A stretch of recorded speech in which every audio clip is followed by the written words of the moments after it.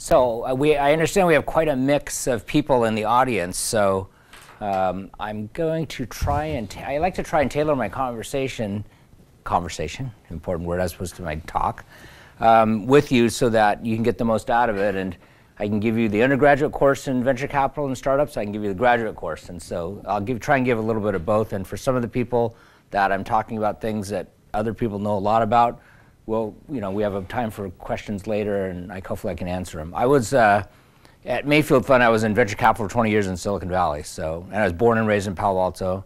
My dad's a Stanford graduate. Of course, we're both Berkeley graduates as well um, from the engineering school there. And uh, so um, this is like my hometown. I used to sneak into Stanford Stadium during the big game after going to being going to school at Palo Alto High School, and since Saturday sneak into the game and stuff like that. That was when the security wasn't as good. So anyway, it's gotten much better. So let me uh, kick off um, and, and try and talk about this interesting topic and see what we can do. Probably needs, there you go, okay, Yeah, got it's working. Yeah, thanks. Okay. Thank you. So who am I? I'm old enough to be your father. My kids are probably older than you are, even though I hopefully don't look like it. Uh, you can see the years I graduated from Stanford, which was a long time ago. Um, I still found my way around campus, although somebody has to tell me that Skilling was next to Durand because Durand was around when I was here. Some of the other buildings weren't, and even some of the buildings I used to go to are missing, like the Terman Auditorium. So. Um, anyway, a Terman Engineering Building. Um, I stayed too long at one company, which was Mayfield. Um, most people change jobs every four years. Um, I was at Mayfield Fund for 20 years, and so that's where I got my, uh, my uh, graduate degree in venture capital. I started as an associate there, and I uh, became managing partner 20 years later. And in 2004, sort of the tail end of my uh, time at Mayfield Fund, I helped start uh, a, a venture fund called uh, GSR Ventures. Um, at the time in 2004, for those of you that can think back about what the world was like for startups and venture capital, you know, 1999, 2000 was the uh, internet bust as well as the telecom bust. And so a lot of venture capitalists were sitting around from 2000 to 2004 thinking about how, gee, how are we going to get the returns that we used to get uh, for our limited partners in that time frame. And, and, and uh, we, we picked two areas, uh, India and China. So um, I think very fortuitous at that time. Mayfield has an India fund, and Mayfield Fund uh, started uh, GSR Ventures, uh, which where they, where they backed me to do that. Um, so we were the first. Mayfield Fund was the first uh, investor in GSR Ventures. And eight years later, four years later, I joined GSR Ventures, left Mayfield Fund, and decided to spend um, full time with GSR Ventures. And in 2008, started working more actively. I go to, I, I'm, I actually co coincidence with that. I, as I told you, I was from this area. Mayfield Fund was based in Sand Hill Road, Menlo Park. I lived in Woodside. I moved to Las Vegas, and I commute. So I commute here every other week, and I commute to China six to eight times a year. So. I, I figured uh, why not pay lower state taxes while I'm commuting. Um, you've heard about all these other things too. Uh, a couple of notes too. Um, 54 companies I've invested in over this 20 years at Mayfield Fund. Nine that went public, 15 that were acquired. That was in the days when you know acquisitions could be um, just as good as as uh, um, IPOs.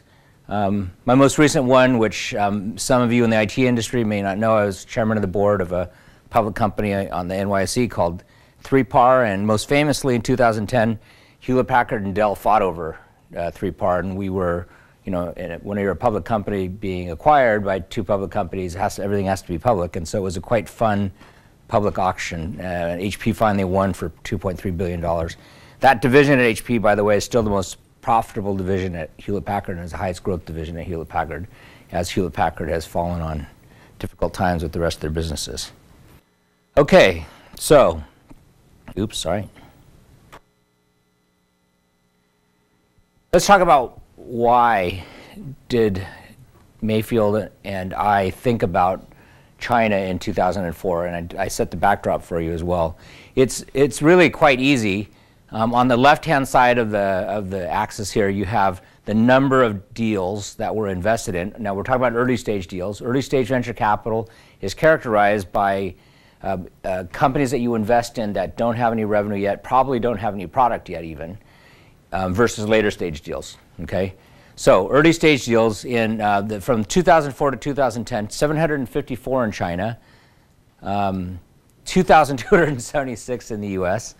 Um, and then look at the, I mean, the, the, numbers on this side don't mean as much in terms of the size of the dots, although it's, uh, it's kind of impressive um, because it's by numbers, right? The real important one, which investors care about, is this number over here. Because so for $9.3 billion invested from 2004 to 2010, it turned into $155 billion of, of, of market value for companies in China. Whereas in the U.S., you had less than return of a 1x investment, right?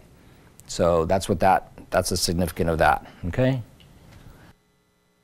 Um, so we had that backdrop. Clearly we were in 2004, so we didn't have all these numbers yet, but we saw the writing on the wall.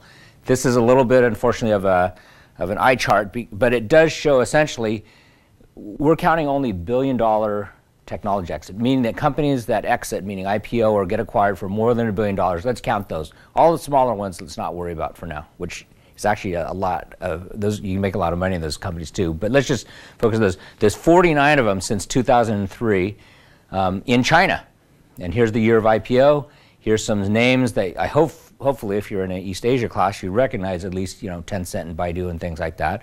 And then of course their sector and then their market capitalization. So Clearly, there were some companies that were doing important things already, uh, uh, which gave us fodder for, for figuring out what we wanted to do. Um, here's a list of most valuable internet companies in, in 2005 and in, in, in, December 31st, 2012. And look at the list here, too, of um, there's no Chinese companies there. And if you look here, there's Tencent, Alibaba, and Baidu that are on the list as well. It's interesting, the number spans from 1 to 10 you know, $122 billion at, at, at Google to Expedia at, at $8 billion. Fast forward to 2012, and there's Google at $232 billion, and then the number 10 on the list, which you can't see because the slide, um, but you know, Baidu is there at $35 billion. So clearly the chart has gone up. So in other words, if you invest in the internet sector as a basket of investments, you still made a lot of money, regardless of whether you're in China or the US. It's just that China has come to its fore in terms of being able to create large internet companies. So another good thing. Um, this is the graduate part of, uh, of, of, the talk. Um, for those of you that watched the market, 2011 was a bubble peak in China in terms of tech investing. And since then, there's been some issues with Chinese IPOs, which I won't go into right now, but I'll mention two words, again, for graduate study something called transparency in terms of accounting issues, and the other thing is called you know, VIE, or variable accounting. A lot of issues with respect to Chinese IPOs and their market performance and their accounting techniques were made, um, um, there was quite some stellar um, revelations actually made on a couple of companies. None of them tech companies, they were all they were all actually natural resources companies and other Chinese tech companies. But nonetheless, um, U.S. capital markets looked at these and said, oh, we don't really know what's going on in China. And so Chinese IPOs have had actually been challenged up until this year. And that's what this slide shows, that since 2013, actually the Chinese IPOs have started to do better again as confidence rebuilding. Just like any other market cycle, you know, there's a, there's a scare, there's a downfall, and then confidence rebuilds, and then the quality companies rise to the surface, and that's what we're having here too as well. So some companies here too. VIP Shops was an e-commerce company. Um, NQ Mobile, Mobile, which is actually one of GSR's companies, um, which is a, uh, a, smartphone security company, are, are, actually performing quite well post their IPO. And, and, why is that important? It's important because when you take a company public and a, and a company goes public at $10 a share, let's say, the public market buyers expect that it's going to continue that growth. So they would like to have that $10 stock go to $20 stock as the company grows and becomes more valuable. Well, if it does, if it does go below that, it, public market people get upset, quite rightfully so, and then they don't invest them anymore. So that's that cycle that I was talking about. So let's go on. So this is the real chart that, for me at least, in terms of convincing my partners at Mayfield that we should be in China why we should be there. Okay. Um, so it was this, these numbers, which I'll go through in a second, and the other fact, which is I'll always remember in my sort of experience from the um, 80s until you know, 2004 when we were making these kinds of decisions that if, if you're in the technology business, if you weren't looking over your shoulder, and there's a very, very famous guy who talks about that, is Andy Grove. If you don't, haven't read his book, it's a great one. That you're looking over your shoulder and saying, who else is doing this other than me? And in, at that time frame, because of these numbers, you know, my observation was India and China, okay? And our partnerships uh, um, um, observation was that as well. For those of you that remember Boston and Route 128, Boston and Route 128 used to be, you know, pretty, pretty competitive with Silicon Valley in terms of technology companies. You know, you had companies like Digital Equipment Corporation, Data General, Wang Corporation. These were all companies that competed with Hewlett Packard. In fact, Digital Equipment was beating everybody's butt except for IBM, and they're all East Coast, IBM included. But I'll always remember meeting with one of the founders of, of, of, a, of a workstation company, which you won't remember. Um, and he said, wow, you know, we were building these, these workstations on the East Coast, and we never thought about Intel. We never thought about Berkeley BSD, which is Berkeley Unix, and what that could do to the rest of the world. So they weren't looking over their shoulders. And what we looked at at Mayfield was, wow, look at this internet and mobile growth. Look at what Chinese, the Chinese population and market is doing in terms of internet growth, mobile user adoption, um, and then there, you know there's other areas like renewable energy and automotive. Automotive has been growing much more. Automotive is a growth market in China, whereas here, you know, obviously in 2008, 2009, it was not for the U.S. And we said, look, this trend is going to continue for a long time. This is a trend that we have to be part of. On top of that, at that time, most of the semiconductors were being made in Asia. Most of the semiconductors were being put into products that were being built in Asia and then brought to the U.S. When you have that kind of, of, uh, of, of knowledge and expertise being generated in an area, pretty soon that area begins to build on top of that and then create their own new products and things like that. So a lot of things were happening there, a lot of expertise and some core strategic areas were happening in technology. So we said if, we, if we're going to be in the tech, and this is the exact words that I used when talking about it to my partners to convince them to invest in China was, you know, if we're technology investors and, and we want to be, continue to be successful in technology, we need to be in, in China and India. So to me, that was a quite simple, simple things. I talked about in China very briefly, and this chart shows it. This shows the amount of VC funds, meaning people like GSR raising money from third parties, institutions, and taking that money and saying we're going to invest that in tech startups. So it's that it's one before going into a startup. Okay, so this is VC fundraising, and that's a this is a leading indicator, right? Because we raise the funds, then we take the funds and invest them in startups. Startups take five to eight years to turn it into something valuable, and then you know some type of event, right? So this is a leading indicator, right? Unfortunately, it's also a little bit of a lagging indicator because you look at 2011 here. There's a big bubble you know, and this is the problem with markets and timing and things like that as well. 2011 happened to be a great year when everything in China was go, go, go. Mar you know, everything that you invested in looked like it was going to be successful. There are huge markets, et cetera. Um, and then obviously the money flows in. Money has a very fast velocity, right? Money flows into areas where there's returns. And if you know your macroeconomics, what happens there, right? So this is what happened in 2011. Um, China went through some of these issues, as I mentioned before. Uh, it's now, I think, stabilized now. China is sort of stabilized in terms of the, the, the companies. You know, expectations are kind of meeting um, re, uh, reality in terms of what's happening. And so, so things are returning back to normal. So 2012 actually is a more normal level. And actually for venture capitalists, we like this better because, you know, if there's just, if everybody's making money, no matter where you put it, you know, we have no value added, right? But um, we know over the long term that that can't be true. And in fact, um, we like to have these types of levels in terms of the investments. If you look at this number in, in 2012, what does that say, $9 billion? Um, that's a little more sustainable level. People in our business, if you're a venture capitalist looking at your economics and you're looking at your, your world, you're saying, what's the amount of dollars that this startup world or this startup environment can handle before it gets overdone, right? How many you know, times can you invest in multiple Facebooks and get a return before, you know, no one's successful, right? So that dilution happens. So that's always a, a level that we, that we seek. Um, this is just, I'll skip over this. This is fundraising by type. there is a, uh, in China, and originally how GSR started, is we raised dollar denominated funds in order to invest in Chinese companies. In China, there are limitations on foreign currency conversion, and so this is the mechanism that we invested in. What's becoming a trend has, has sort of started about three to four years ago is investing in RMB, which is the local currency denominated funds. And so you raise RMB funds to invest in Chinese companies in RMB.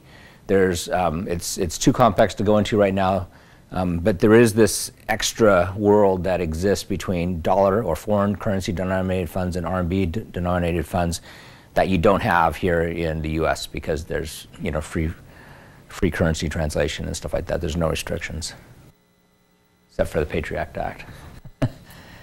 Um, uh, this is a this is another uh, um, interesting try.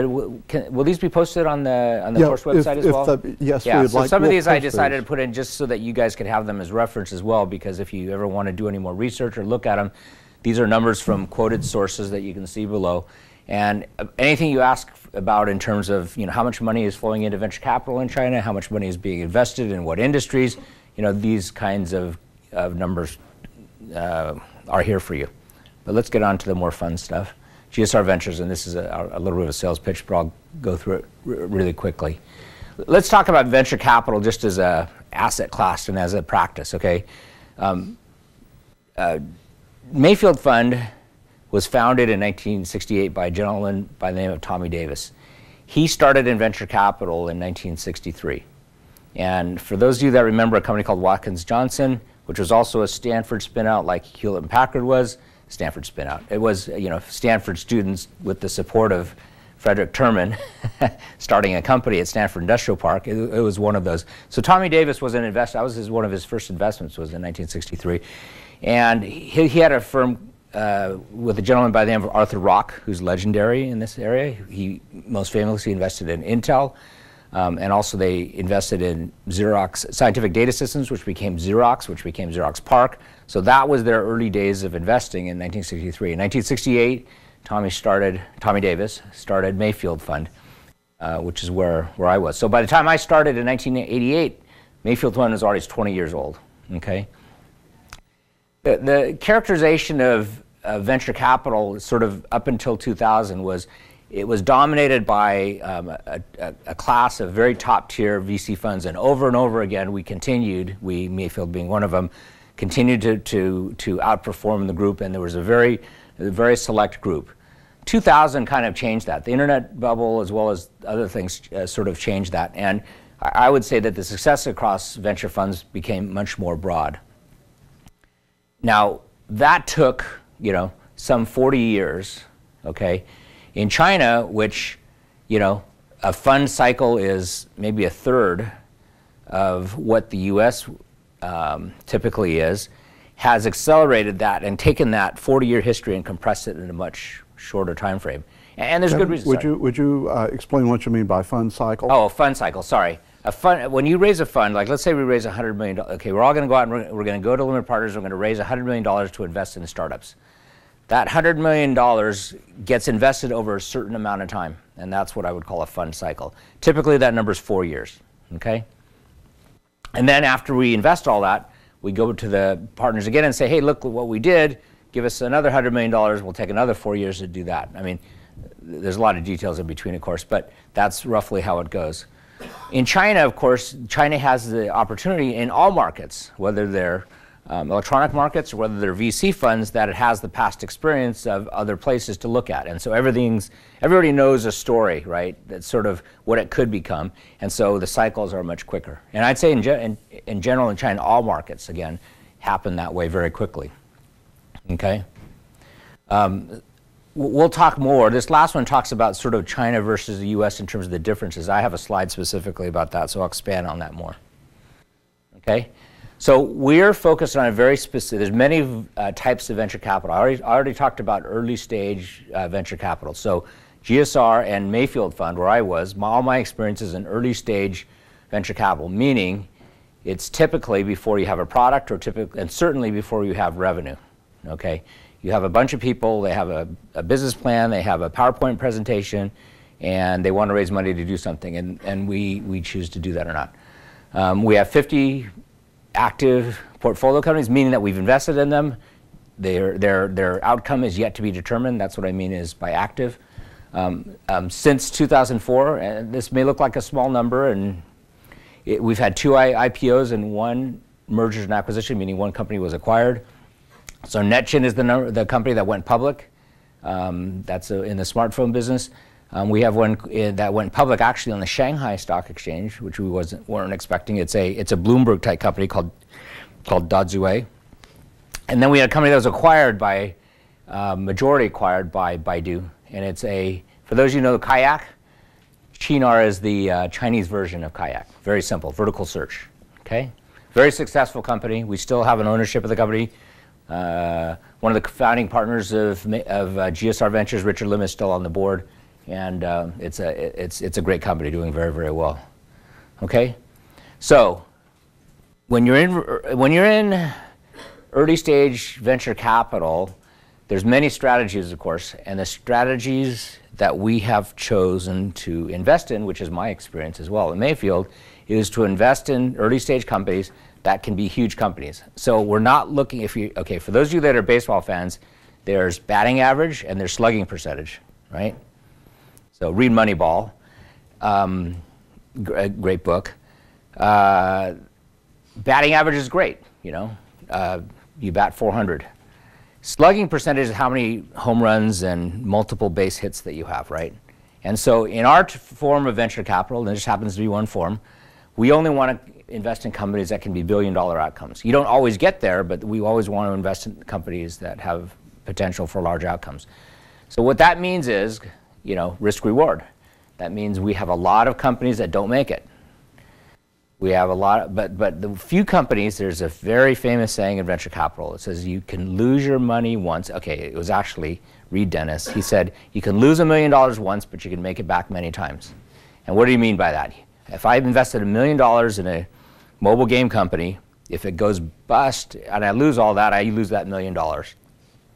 However, if that game company turns into Zynga, I can easily make back $10 million off of that million dollars. So that's what that term means. Very, very, Reid Dennis is one of the, I want to call him grandfather, I probably hate that, but um, he, he is a grandfather. So, I mean, he's one of the grandfathers of venture capital and, and very famous saying. He had another very famous saying too, is his cash is king. I mean, that was Reid Dennis as well too. So anyway, um, that's what we're looking at. And the sectors we invest in, internet, software, wireless, green technology, um, systems and components. Okay? Um, we have carried the strategy consistently over our eight years of existence. We have a very stable team. It's the same, same team. And even at, you know, um, even at eight years old, we're still a very young firm. You know, by young, I mean that even though we've raised four funds with a billion dollars under management, there's still many cycles this team as a group has to experience, right? You know, eh, spend 20 years in venture capital and maybe you get, you know, two or four cycles if you're lucky. And the more cycles you have, just like the turns on a semiconductor or how many times, how many revs on a, on a software version you have, the more turns you have, it gets better every time, right? So it's tough to be good on just one turn. Okay, what does it take to succeed as a venture capitalist? So some, I think most of you guys want to be entrepreneurs, but the postgraduate of entrepreneurs is being a venture capitalist. And for those of you that aspire to that, which when I was sitting in your seats, I did, you know, I was, I, I, my vision was to become a venture capitalist after I became a successful startup entrepreneur. This is what, I mean, it's actually quite simple. You have to be good at investing and make money for limited partners. That's, that's all this says. One of the problems, however, is this darn feedback cycle. We talked about the fund cycle being four years. You know, you could be a venture capitalist for five years and you have no idea if you're any good at it or not because the companies you've invested in at an early stage, you have no idea how they're going to turn out. You could have one that, that does return money, and you, you could that could be luck. But how can you be sure that you can do that over and over again? So this is the, this long feedback cycle is one of the issues about being a venture capitalist, which makes it hard. Everybody that I, you know, I used to meet that you know, was in your shoes or other shoes that wanted to be a venture capitalist, they go, wow, I want to be a venture capitalist. It looks so easy. You know, you guys make so much money and blah, blah, blah. Everybody, every one of those that actually made it in venture capital, when I speak to them now, they go, wow, you didn't tell me it was this hard. because you don't see, everybody sees the successes, you don't see all the failures. Okay? What does it take to succeed as an entrepreneur? Well, to me, the number one is vision. And, and, and, the vision is, to me, simply put, is this is what the world will be like after me. After I do this, this is what the world will look like. Okay? Now, this is a big vision, too. This is the billion dollar type company, right? Because this is not like, well, I'm going to make it easier to get into your car. I'm not going to make it easier to do this. This is about how the world is going to look differently after me. Okay? It takes balance, extremely difficult. This is something that nobody ever gets right. And if you're any good at yourself, at, at bettering yourself, you work every day to try to do, which is how do I find the balance? The balance is what's my strength of conviction? That's what drives you to do something that says, this is the way it's going to be, darn it. And I have a vision, darn it, right? Number one. Versus, wow, I better listen to some people that have some opinions that count. And some of those opinions are terrible, and some of those opinions are very good. And you've got to mix those two and find that balance. So that this is a, this to me is extremely hard too, but necessary criteria. Um, there are a few people that damn their torpedoes. I don't care about anybody's opinions, and they are right. But it's usually, they're usually listening somehow, whether it's their gut or whether it's their closest advisor or whether it's their wife or whomever it is, their board of directors, hopefully. so the other thing, too, is uh, th this is a, I, I kind of, you know, everybody's heard of the book, Failure is Not an Option, right? So definitely, and this is a old Chinese saying too, failure is an opportunity right? And no fear of failure. This is a very societal thing. Before China, and, and I, remember in the, in the 90s, I used to get invited to countries and say, how can we have Silicon Valley? What do we need to develop Silicon Valley? What kind of infrastructure do we need to put in place?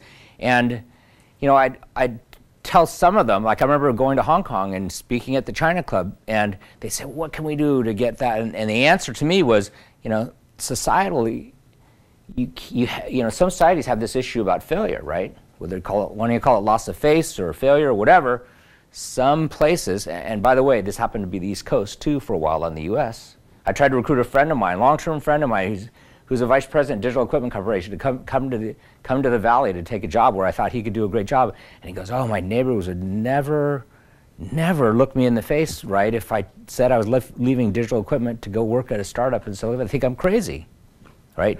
So cultural things, not just you know U.S. versus China things like that, made a big difference. And many cultures are like this, where there's there's you know the failure is seen as a black one.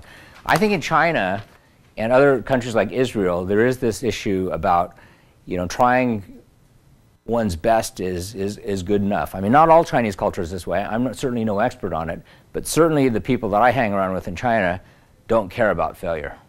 I mean, not, of course they care about failure, but they, they don't care what long term. They say, I can do it again. I can do something again. Okay? So this failure not an option thing, too, is that's the, here with this balance, right? If failure is not an option, sometimes it's better to go home and start over again than it is to just bowl through something.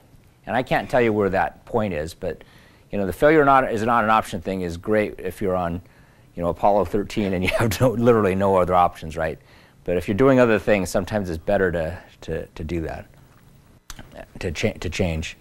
Um, resourcefulness, good network of people. I think these are all things you know. And then, of course, money. We'll talk more about that, of course. What does money mean? So now we're getting to the section about what's sort of different, sort of lessons for me, 20 years in Silicon Valley, eight years in China. What are some differences? And these are the differences that I found about raising venture capital.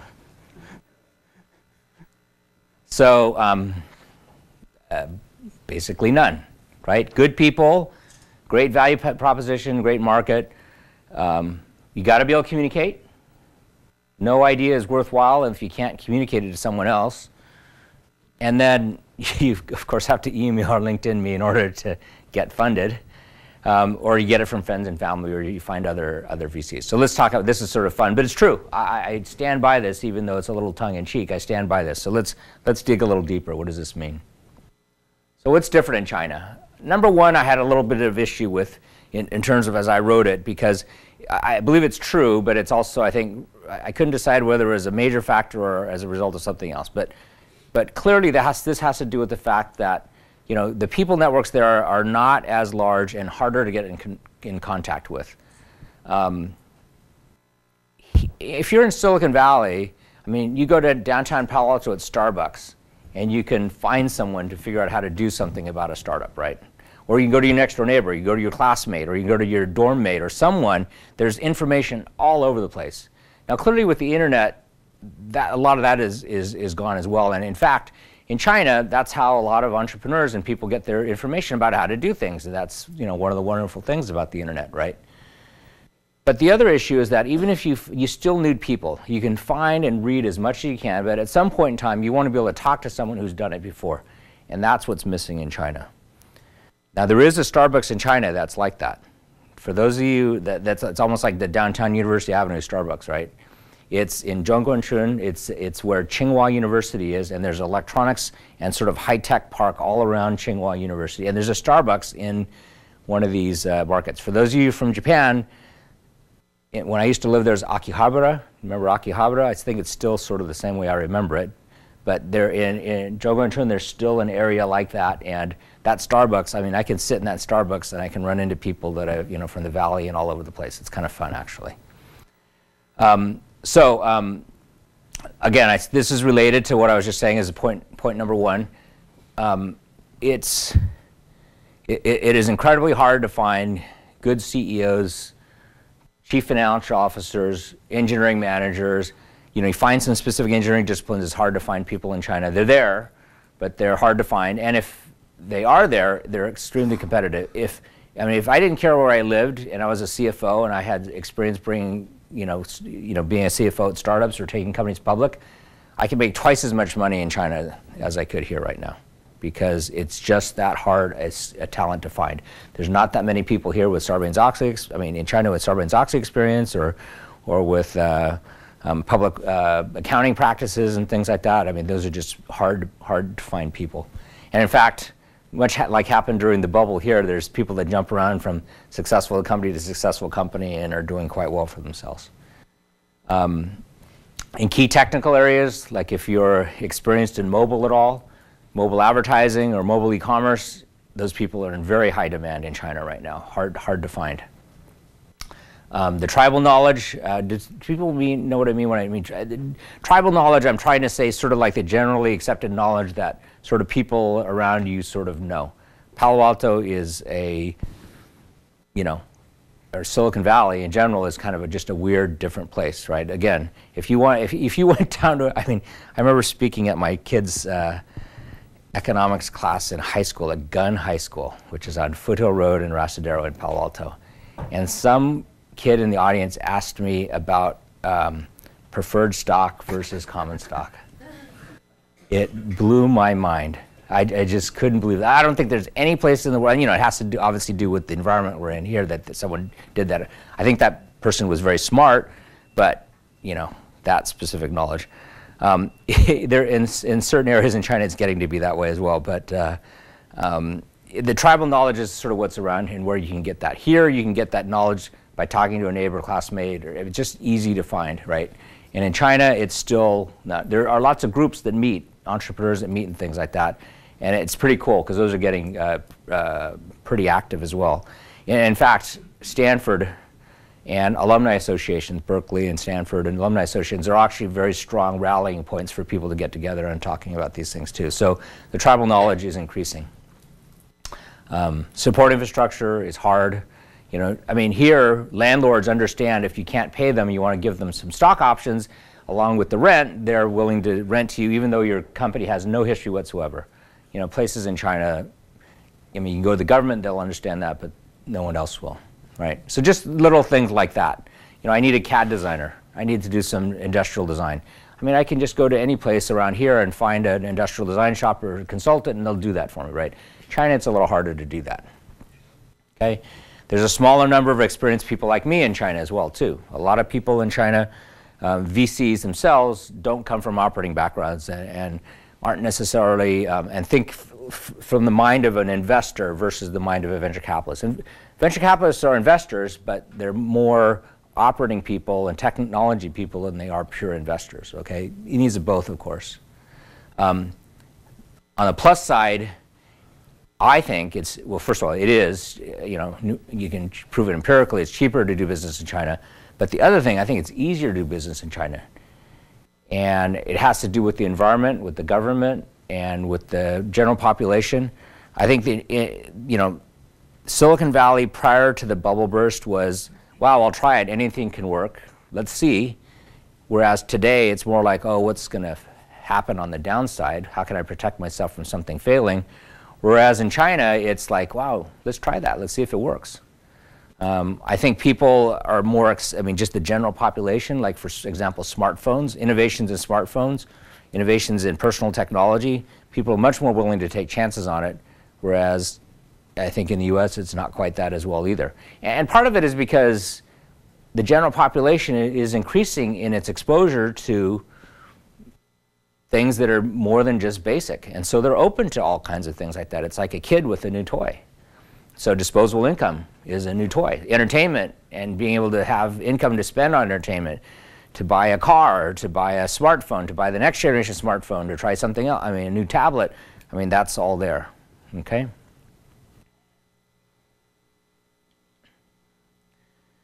So what else is different in China? So what are the implications of some of the things we're talking about as well?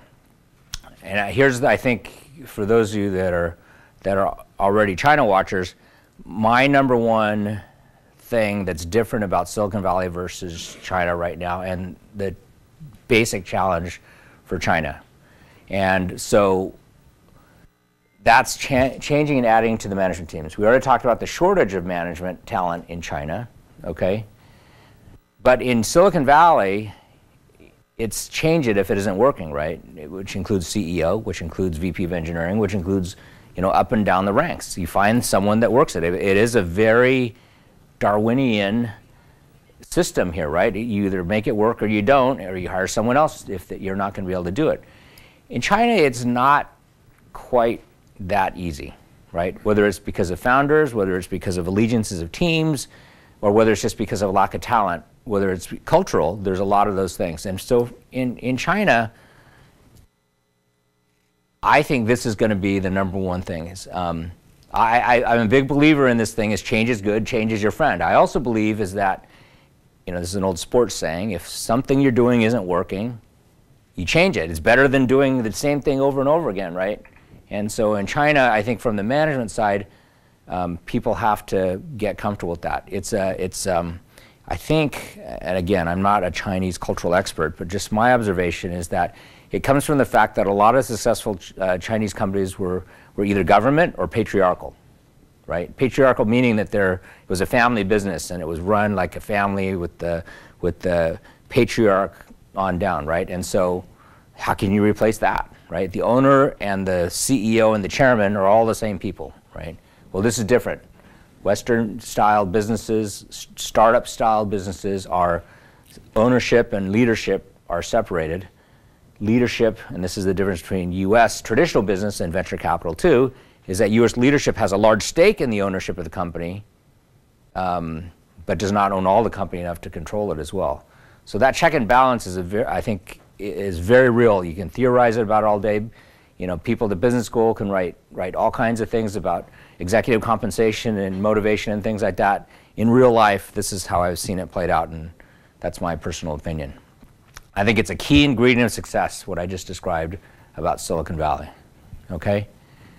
Um, so, the bottom line, when I talk to entrepreneurs that are in this position, and we've only had one situation, maybe a couple, where we've um, successfully changed leadership, um, is do you want to be successful or do you want to or do you want to protect your ego?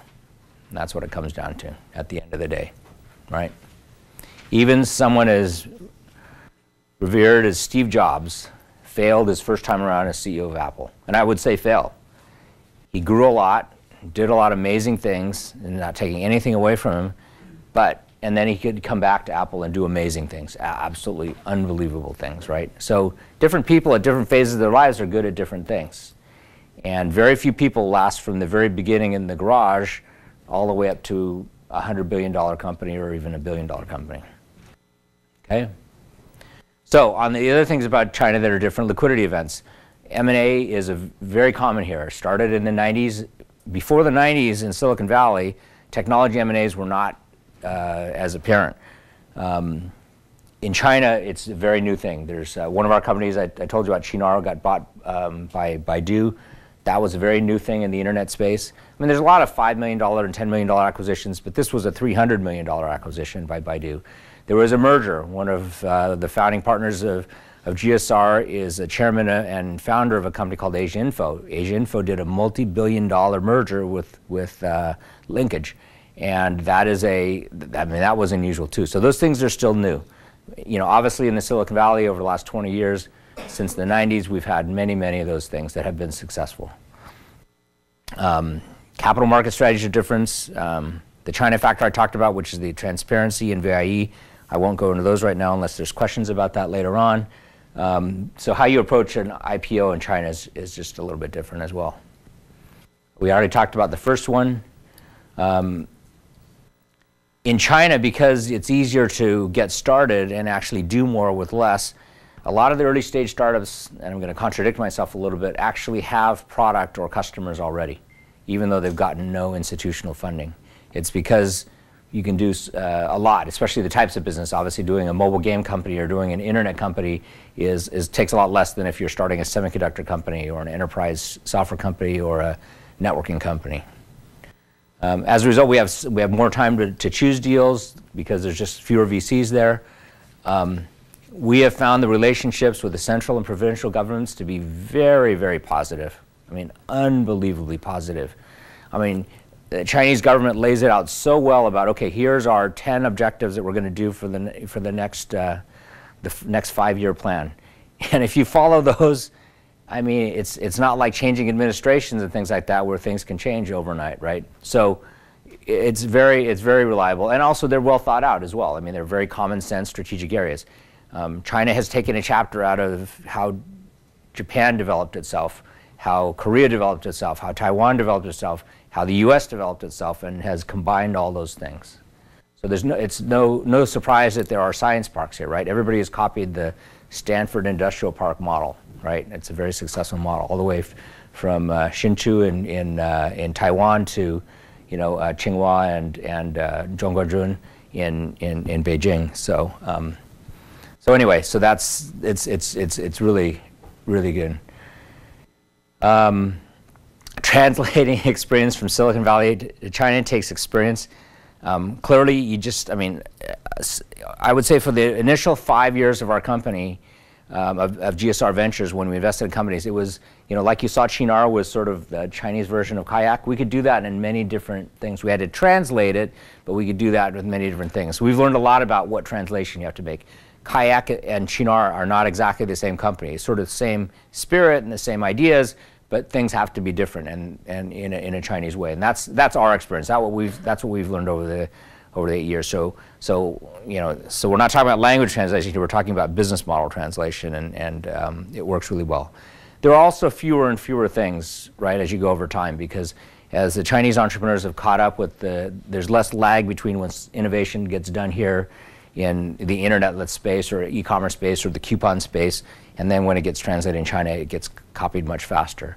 Um, there are other markets where that, that experience is not there. Um, e-commerce has been a little bit slower, but happening, but different in China. You know, there's, there's many other areas where there's some fascinating things that are happening in terms of differences. Um, so, uh, a couple examples, gaming. There's no, con there's basically, I mean, console games here, of course, are a mainstay of gaming in, in, in the US. In China, there's no gaming consoles. Everything is PC or online or mobile. Okay. Um, the uh, um, in China, there are actually, and this is an area where the the knowledge of business models can go the other way. The monetization for gaming in China is much more well developed than in the U.S. I mean, Tencent is a company, you know, the largest internet company on there, except, yeah, for, um, in terms of Chinese internet company, has made its initial money completely on monetization, um, on things like virtual goods and things like that. Un- unbelievable, fantastic company. And I, they have a development center in, in, in Silicon Valley and Palo Alto now. On the mobile side, mobile, um, I think this is an area where China is, is, is on par or leading compared to the US. Um, mobile gaming, I mean, due to the fact that there's so many mobile phones and very rapid mobile adoption in China, and plus the infrastructure in terms of LTE and, and 4G networks and things like that happen very quickly in China. Um, those, uh, um, there's exploding growth there, so the, the interface between internet and mobile is, uh, is, incredible. Um, there are some things though too. China Mobile has, I don't know what the number is, like 80% market share, right? So imagine one of the carriers in the US having 80% market share. It changes some things a little bit. Um, distribution and payment, there isn't, I mean, the, the, iTunes does not dominate in China the way, same way it is here. Android's a very effective platform in China. Monetization is an issue. So, um, so there's some issues there about how you actually monetize and things like that. I'm going very slow. We've got to go fast. I'm behind. Okay, there's smartphones. We talked about that. iOS revenue growth. Uh, freemium is the model. You guys know the difference between freemium and premium models on gaming. Freemium is definitely the way to go. Um, I won't go into this too. This is this has to do with the fact that that applications and who controls it. I mean, there is no Apple store. There is no Google Play Store there that is dominant. It's all fragmented in China right now. And believe it or not, too, China Mobile as a dominant carrier there really doesn't provide much direction either, too. So that app, whole app universe is, is kind of strange in China right now. The successful companies are making money off of iTunes stores for Chinese, you know, Chinese applications, and there are, you know, successful uh, developers on the uh, on the on the Android world, but it's not consolidated at all. It's more fragmented. Um, one market that doesn't exist is that's been existence and very successful for venture capital and startups in in Silicon Valley is enterprise uh, and software infrastructure. Um, it's just been non-existent in China uh, for lots of reasons that we can go into. Clean tech is, is huge in China, as right now it, we're sort of in a downside in the US in terms of uh, material science and clean tech investing. In China, it's huge. The government is supporting it. It's one of the, one of the plans. Electric vehicles, for example, batteries, that whole area is, is a huge area of support. LEDs, where GSR happens to be a large investors. We're investors in electric vehicles, batteries, and, and LEDs. Um, you know, all due to government direction and support and initiatives and um, opportunity. Um, in the semiconductor side, I mean, starting a semiconductor company in Silicon Valley is just tough. In China, it's, it's still possible in selective areas. We have some very successful semiconductor companies, actually. Oops, that's it. So, sorry I had to rush at the end a little bit, though, but I'm running out of, I ran out of time here and wanted to make sure that uh, I left time for questions. Sorry. Yeah, that's great. We've still got some time for questions. So let me ask the first one. Uh, did you see the reduction in, in VC funding in 2012 as a correction?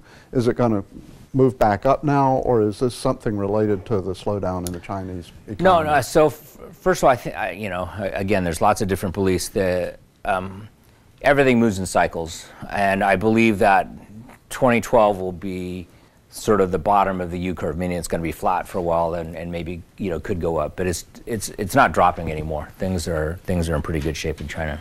Okay, good. Let's move on. Go ahead. Cycles are faster in China, and it would seem like uh, for venture capital, it's a certain type of investing. It would seem that it would be the same. If you short it too much, you're basically flipping. And if it's too long, then it's not VC investment. So why would it be shorter? Or do you mean that they're overlapping more? Or what, what do you mean exactly? So um, it's, a, it's a great question. Um, the, the time it takes from investing to a company to the time it's mature and maybe successful is actually looking about the same. I mean, the U.S. now, for U.S. venture capital portfolio companies, it's about eight years, which is actually a long time. For our Chinese companies, if you look at our short history at GSR, it's six to eight years as well. You know, and so from that perspective, it's the same. What I mean by shortening cycle, I think more about market and technology cycles, and maybe even more market cycles, okay? So, for example, um, when Groupon, remember those days when Groupon was hot and the next big thing, right? So that cycle actually happened fairly fast here in the U.S., meaning that there was a big hype. It got big very, I mean, Groupon got big in revenues very, very fast, and then it quickly dropped off and flattened and became out of favor, right? Well, in China, there were probably 500 Groupon knockoffs. And they went through that same cycle that Groupon went through um, with only maybe a six month to a one year lag in terms of time. So that's, that's what I meant. So, so there's a couple of different themes sort of playing there. Um, and now the, the, the, the Groupon sort of uh, fad in China is still there and probably will be successful, not as, as big as we thought it would be, but, um, but it's morphing, you know, and it's morphing very fast. I mean, 500 startups like that too. Most of those were, were junk, right, that, you know, weren't that good, but. So is the gap between domestic VC and, and foreign VC shrinking? Is domestic VC really becoming more like we would know VC in Silicon Valley? Yeah, yeah. So the, the, I would claim that most of the foreign VCs are still a dominant form in, in China, in, in certain industries, like the same industries we would consider mm -hmm. here. Mm-hmm. I mean, there are Chinese VCs in certain other industries that U.S. based or originated VCs don't participate in and stuff like that. But in general, I think the the, the U.S. VCs are still okay. I saw one over there. So um, you mentioned that uh, engineering talent over here is definitely way more. There's way more here than China. However, China obviously has a huge market. So, what advice would you give to startups that are starting here but targeting the Chinese consumer market? So I, I think that, uh, uh, by the way, I don't have to repeat the questions, or they're... they're That's all right. They, they should be okay. picking them up.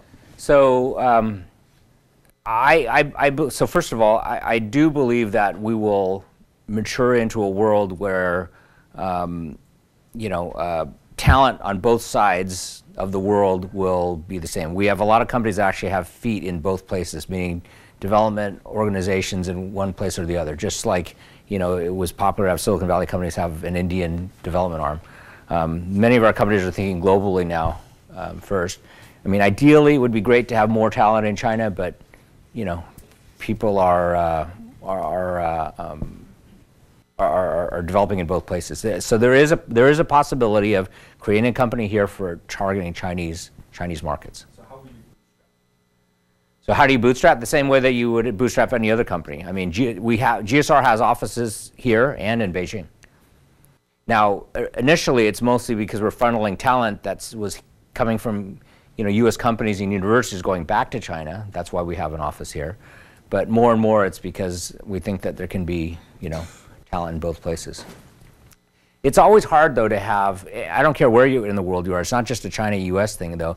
It's always hard to develop for a market when you're actually not in that market, you know. I mean, you, you do have to be careful of that. Good. Go ahead, Ed. Uh, through this seminar, Richard has taught us a cultural difference about entrepreneurs in Asia, that Asian entrepreneurs oftentimes prefer to start a business that they can um, pass on to their kids. Their kids will inherit it. So how do you sort of separate the folks that are have traditional thinking culturally uh, versus the more Silicon Valley type entrepreneur? So wants and exits. So, so like Richard, I mean, I, I you know, I, I, lived in Japan as well as, um, you know, for the first part of my early tech career. You know, obviously a lot of the business was ja Japanese centric, and I, would say that was more prevalent in Japan and in Hong Kong. In in China, because of the, the background, I mean, certainly it has that culturally, but it's, it's, it's, it's, it's, it, and it's true in some industries, but in the industries that we practice in, it's less true because they're not historical businesses, right? When you are in a real estate business or in a manufacturing business doing textile manufacturing or something like that, maybe you have more of those. Um, so Taiwan and Hong Kong are characterized as those. When, when I mentioned patriarchal type of sort of management experience, that's what I was referring to, though. I mean, that was that sort of cultural artifact. Yeah, can I China, drill down on yeah, that a yeah, little bit? Yeah. So you're talking about the ability to change management or add management to a Chinese company. And this is something that the venture capitalists here have been very effective at to right. aim for maximum growth, right? Right. Uh, is that because the ownership shares of stock are typically lower for VCs in China so that the original owner founder has more stock or Why is it that the dynamics don't allow change as much I- That's a, it's, It's a, a very it's, fluid it's, labor it's a very it's a very good question. I, I- I think some of what you said is true, and but it's you know my experience to date is that it, it sort of depends. I mean, do the founders have more shares than than the? Yeah, I don't think the answer is no. I mean, but I'd have to look at it statistically to really firmly answer that. My Do you my have a way of looking at a, at a group ahead of time and seeing, uh, this group is not going to listen to feedback? Uh, we, we like to think so. but you discover more as the relationship goes on. But it's, it's just hard. I mean, I mean, it's not hard, easy here either. It's just, uh, um, How do You know, you, it's- how it's- do you, how do you do, what is due diligence in China? Due diligence is the same as, as here. I mean, I mean, it, there's no difference in due diligence. I mean, we still talk to the same kind of networks of technical experts that Yeah, you would talk yeah. to to sort of check out the technology. You talk to markets, you talk to customers, and then you just interview the people and get a feeling for the for the people themselves. I mean, ideally, if they were again, I mean, we can do a little bit of personal due diligence here, easier Yeah. because usually someone else knows that other person. In China, it's some of that is happening, but so, some of it is less too. So it's it's it, it's it's hard. But that's true of any market that you're Sure. going to for the first time, not just in, in China. Yeah. The, the, the, so it is a fascinating issue to me, just personally, Yeah. about this issue of control and changing management and things like that. It has happened, you know, um, um, in, in China. We have done it, Yeah. um, and you know, but it's it's hard. And also, too, it's teams. There are some teams that are just absolutely loyal to their their managers that they have there, and then Yeah. and then so if you change that manager, it's like, That oh my God, it what's yeah, what's it going to do? Yeah. Uh, okay, while I'm still asking, have you seen a shift over the last eight years in terms of new areas of opportunity? You know, labor costs are higher now, so a lot of the old labor cost difference is not going to be an advantage. Yeah, so I mean that's another uh, point. I don't think things that, so our business tended not to be based on lower cost labor. Lower cost manufacturing, yes, which in some cases has to do with cost of capital, Okay. Yeah. but not just pure labor cost. It's usually for the investments that we've made is lower cost of capital and lower manufacturing costs. And so there are some areas we invest in where we do count on the fact that either scale or lower cost of capital means lower manufacturing costs. okay, couple. I saw your hand first. How do you deal with uh, intellectual property issues, uh, both in terms of how you make decisions in China and uh, how you see that changing uh, as we're moving forward? So a couple of things. I was never a big IP person, even when I was in Silicon Valley. I mean, you know, entrepreneurs were usually more scared of people stealing their ideas than I was because it's usually if you're investing in a company, it's about know-how, right? As you, you always hear at IP, there's there's there's the intellectual property and the and the and the copyright protection, and there's the know-how, right? Know-how is a big portion. I mean, software included as well.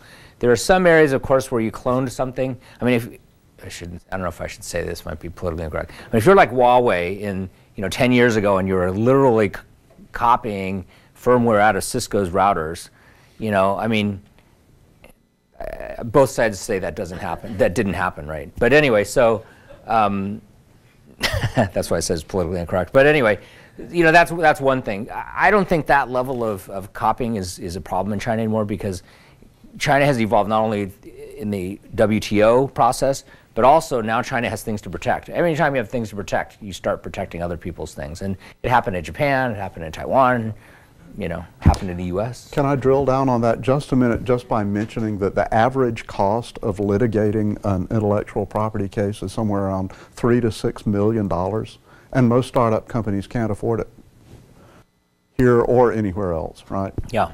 Yeah. Yeah. I saw another hand. Go ahead. Yep, you were next. Yeah, uh, you mentioned that GSR has a great relationship relationship with the provincial government in China. Um, so I've actually heard like different stories between either the VC, the foreign VCs with the government or the entrepreneurs uh, with governments. So like it's actually not that nice. There are like some nasty stories. So I just want to get to your point of view on like Well, those nasty stories are other people, of course. no, I mean, what, what, so if I led people to think that we have special relationships, th- that's not the case. Um, the relationships, uh, I mean, again, not to be politically correct. I mean, you, you, you know, in China, there's a big problem, of course, still with who you know and who you're related to and how you can get things done. We have never been one of those firms that depended on those quote unquote relationship deals. Okay? So that's one type of relationship, right? The son of the ex prime minister, you know, whatever the case may be, right? We don't like those deals. And in fact, deals that had some kind of special relationship or some license at all, most of them have not turned out very well. So the relationships where we've actually built a good, just like you would with a, a, uh, uh, a government in terms of bringing jobs into an area, and they provide you, you know, you know, tax holidays and things like that, or, or land in order to do them. I mean, those deals have worked out really well because we have the same mutual interest. And, and I'd say our government relations on that, measured by that scale, are, are, are very, very good. Um, the provinces are very anxious, especially some of the second tier provinces, to bring technology and jobs into their areas, into certain areas, and they've targeted certain areas. So, for example, we've started a healthcare initiative. There, you know, there, there are many science parks that are very focused on healthcare and biotech and biopharma. You know, um, there are some that are focused on solar, some are focused on LEDs, some are focused on battery technology, and we've had enjoyed really great relationships with those. Um, of course, they can go wrong, you know.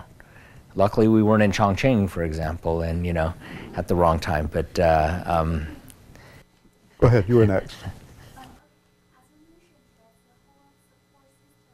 China that's like law or content is not that good. It's not that good.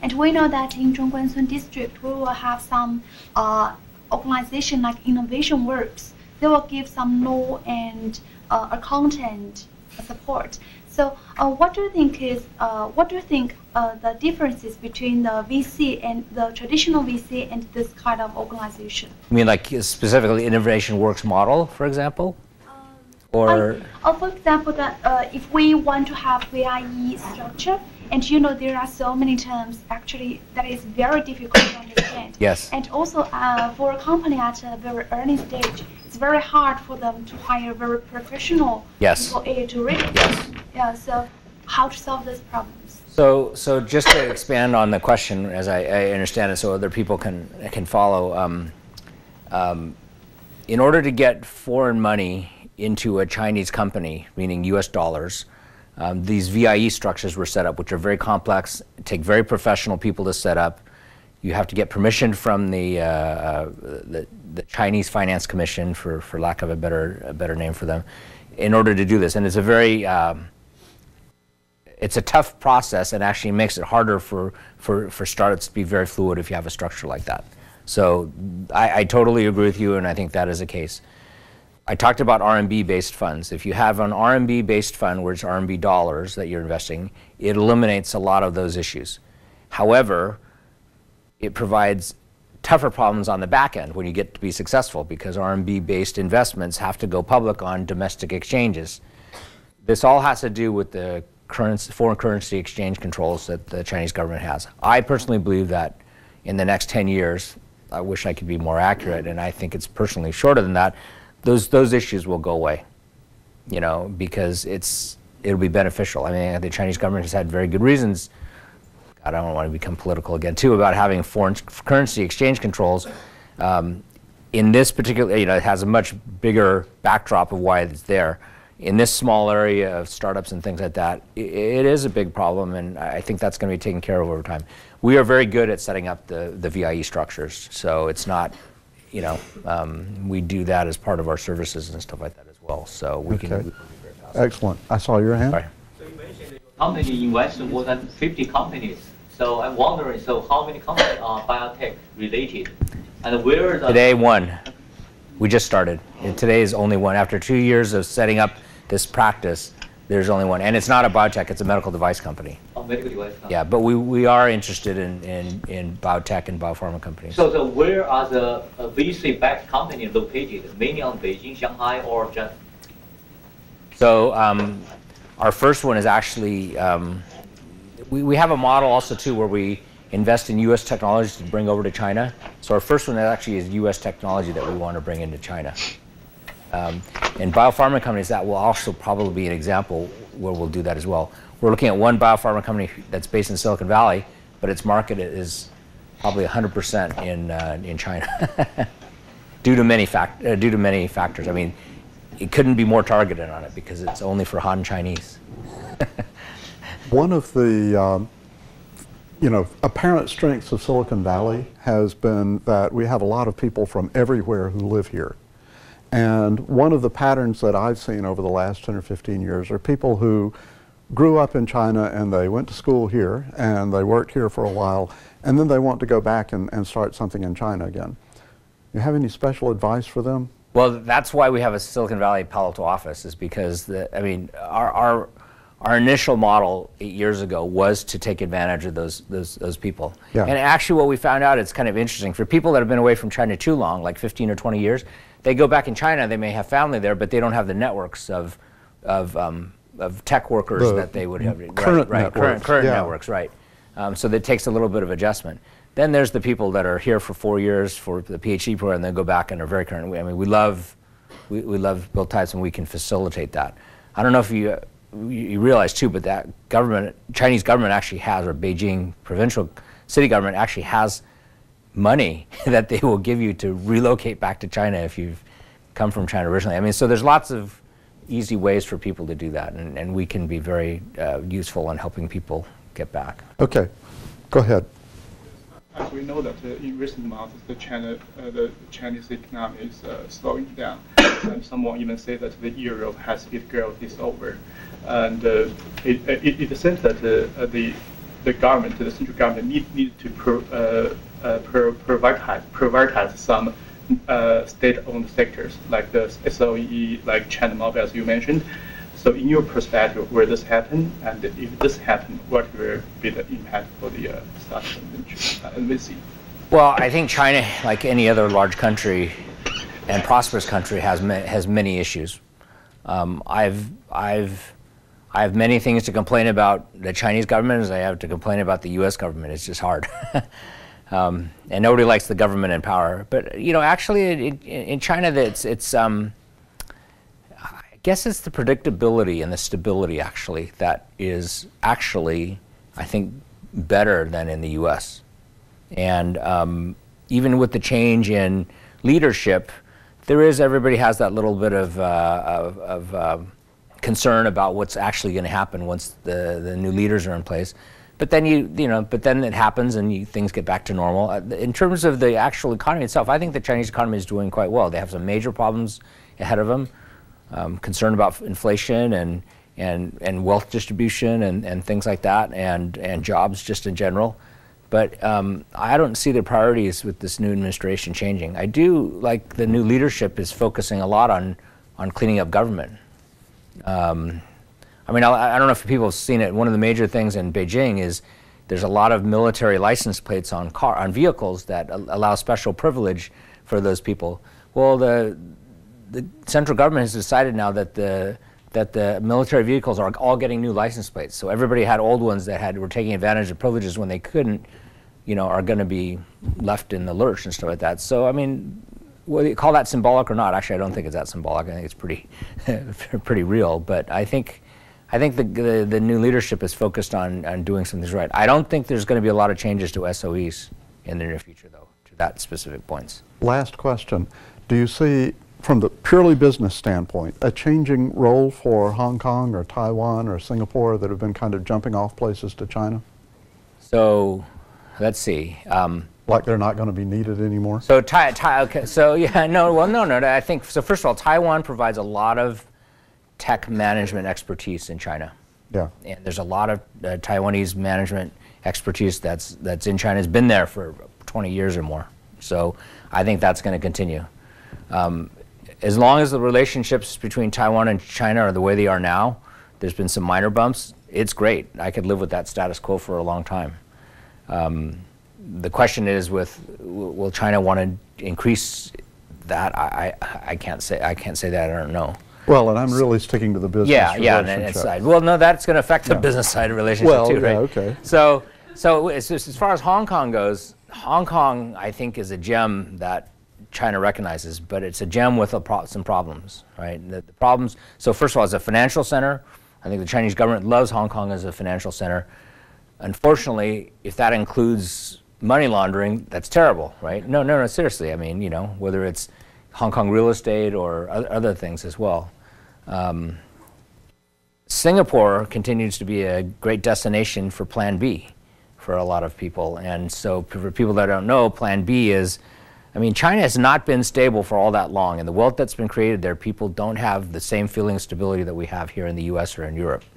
And people are always in the back of their mind thinking about their kids and the stability of and protection of their family and wealth. And so people that can afford it have a have a plan B maybe, whether that's know, their kids going to school here or being born here or having a citizen, moving their citizenship to China, Singapore is playing a big role in that right now. The same way that European and Eastern European wealth is flowing to Singapore because Switzerland's now not the best place in the world. So I, I'm not trying to make this a China-U.S. thing, but Singapore is becoming a haven for that. And Okay. uh, so that it plays a big role as well. But Hong Kong is going to have a fantastic role in the future of China.